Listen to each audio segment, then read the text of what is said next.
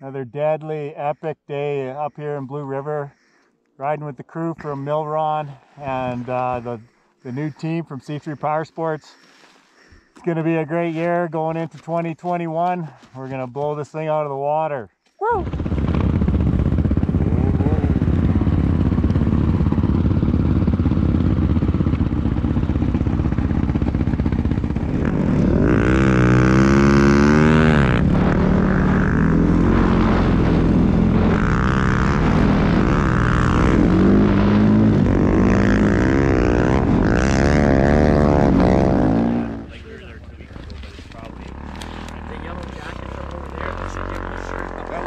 Back here no shirt on. We're like, what's this guy doing?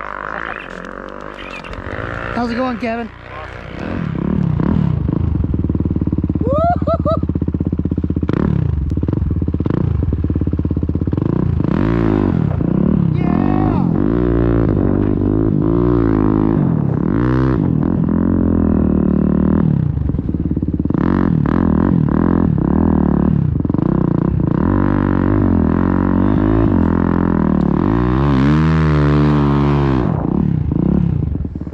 How's your day, boys?